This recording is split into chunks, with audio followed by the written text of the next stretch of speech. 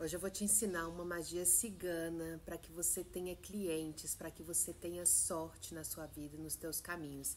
E ela é muito simples. Você vai precisar de uma vela branca, uma ferradura, pode ser uma ferradura tamanho normal, grande, pode ser uma ferradura menorzinha, tá bom? E um copo com água. Você vai e um pratinho para você fazer a sua firmeza.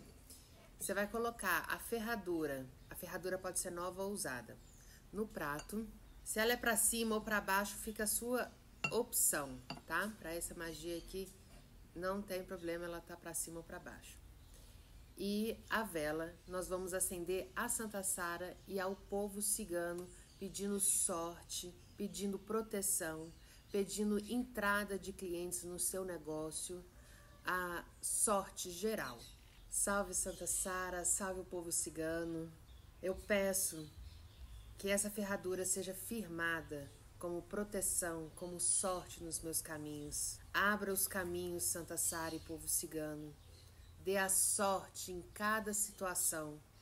Faça com que os clientes entrem, me procurem, que eu tenha retorno financeiro. Opcha, salve Santa Sara, salve a sorte cigana, salve a bênção de todos vocês em minha vida.